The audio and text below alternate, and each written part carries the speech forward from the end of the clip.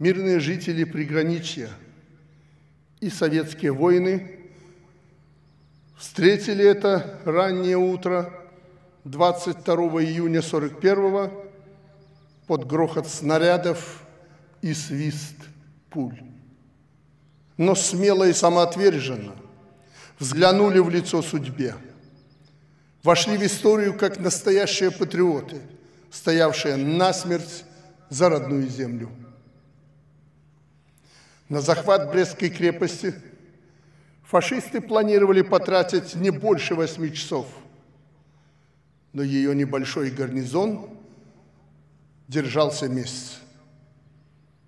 Это дольше, чем противостояли Гитлеру целая до сего времени порабощенные страны. А при взятии этой цитадели противник потерял в три раза больше солдат и офицеров, чем за всю польскую кампанию. Немецкому командованию уже к вечеру 22 июня пришлось отдать приказ о прекращении штурма. И это стало первым отступлением абсолютно непобедимой до того дня армии. Мы эти факты будем всегда помнить, потому что в них величие и сила духа людей, которые не покорились. Именно тогда, когда, не сдаваясь, умирали последние защитники крепости, враг был повержен психологически. И это был первый шаг советского народа на пути к величайшей победе нового времени. Брестская крепость стала непреодолимой преградой для фашистов, которые так и не дошли до столицы нашего государства за шесть недель, как они это планировали. И в тот день захватчики повторили неусвоенный исторический урок.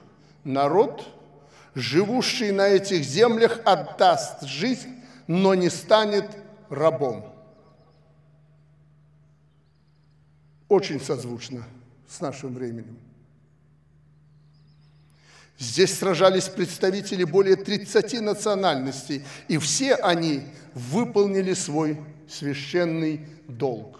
Они защищали свою родину, хотя родились за тысячи километров от нашего Бреста. Давайте почтим память павших воинов минутой молчания.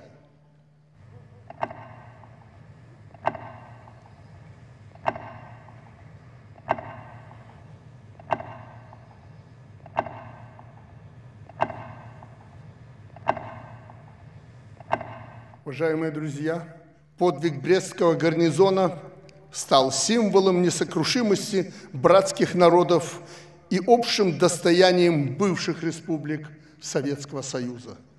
Но, к сожалению, не все граждане этих теперь уже независимых государств видят себя наследниками той героической истории. Очень жаль. У потомков изменников и предателей своя правда и своя победа, которую они сегодня намерены одержать прежде всего на идеологическом фронте. проигравшим и поверженным нужен реванш. Их инициативы уже стали частью государственной политики отдельных стран. Но я глубоко убежден, что народная память победит и в наши дни. Каждый год это подтверждают наши праздники Победы. Мы видим, как даже в тех странах, где День Победы запрещен, люди несут цветы к памятникам советских воинам и бесстрашно продолжают отмечать этот праздник. Потому что память о героях, спасших многие страны от рабства и геноцида, это то, что лежит в основе национальной гордости всех, кто является и считает себя наследниками победы.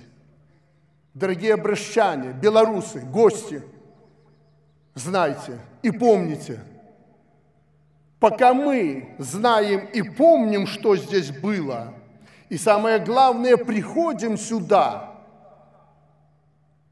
в эту ночь, это никогда не повторится на этой земле.